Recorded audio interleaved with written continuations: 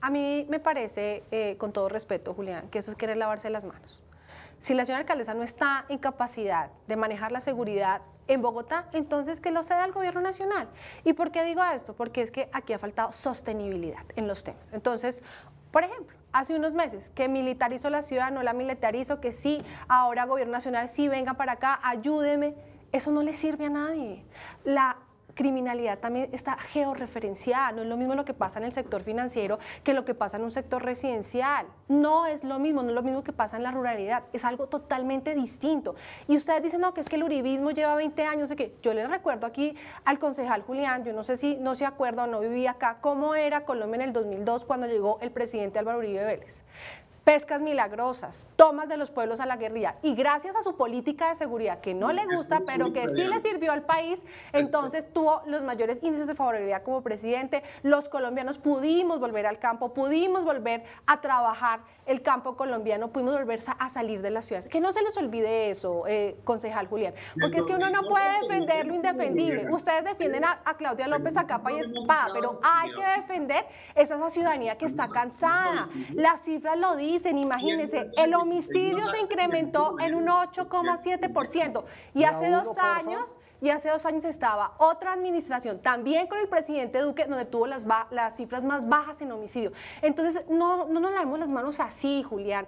Aquí hay que ser conscientes que el problema de la seguridad es enorme. Escuchemos a la ciudadanía. Vuelvo y repito, mire las encuestas, mire las encuestas. La señora alcaldesa cae en picada porque la ciudadanía no está contenta con lo que pasa. Ahora, la percepción en Bogotá, lo ha dicho la Cámara de Comercio, el 96% de los bogotanos no, pero si usted no me deja hablar muy difícil, porque si usted cree que en la falta de respeto, eh, contradecirme es intervenir a través de todo lo que estoy diciendo, entonces no se puede, concejal, yo sí lo llamo el respeto. Aquí estamos poniendo nuestros puntos de vista con mucho respeto.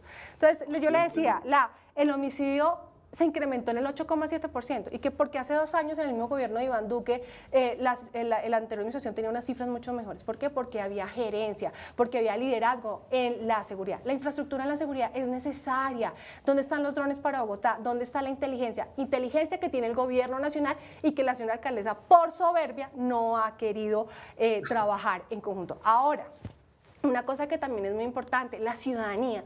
Yo sí creo en los procesos ciudadanos. Yo creo que la ciudadanía hay que empoderarla. Hay que buscar la red de cooperantes. El ciudadano sabe qué pasa en su barrio, sabe qué pasa en su localidad. Entonces, ¿por qué no tenerlos en cuenta? ¿Por qué cuando estábamos discutiendo el plan de desarrollo yo le propuse a la que, en aquel entonces al secretario de Seguridad eh, convoquemos a frentes de seguridad en las diferentes... Eh, localidades y en los diferentes barrios, que quede como una meta, que queden los consejos de seguridad. Y me decían, no, es que eso no es necesario. Y hoy lo están haciendo. Entonces, nuevamente lo repito hasta la saciedad, Bogotá pasó de decisiones técnicas a decisiones emocionales. Y un día la señora alcaldesa echa mano, como decía ahorita Heidi, de una cosa, al otro día busca otra solución. No hay sostenibilidad en el tiempo, porque si lo hubiese, pues otra sería la historia en Bogotá. Ahora, la primera línea, yo creo que eso también afecta muchísimo la seguridad. Los habitantes nos piden que hagamos algo desde el Consejo de Bogotá, que enviemos un mensaje. Es que nueve meses teniendo que aguantar todo lo que han tenido que aguantar, microtráfico, desórdenes, eh, lesiones personales, eso no es justo con la ciudadanía.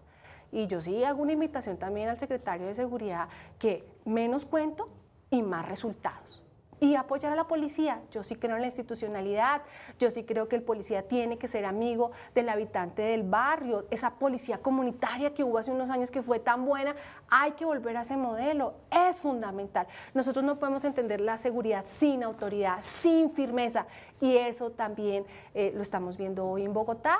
¿Qué piensan los jóvenes de la policía? ¿Qué piensa la ciudadanía de la policía? Que no, que ahí están, pero que no sirven. No, hay que respaldarlos, hay que mejorar. Son muchas cosas que hay que hacer pero aún estamos a tiempo. Aún hay cosas que creo que se pueden mejorar. Tenemos un año y medio y la invitación siempre a la señora alcaldesa, escuche, escuche, escuche. Es que yo creo que la soberbia tampoco le sirve a, la ciudad. Es que cómo es posible que una alcaldesa que tiene que cuidar los bienes de los ciudadanos le diga a los bogotanos, pues si no le gusta, venda el carro. Y así ha sido su dinámica de gobierno y lo estamos viendo. Y eso no es culpa del gobierno nacional, mi querido Julián.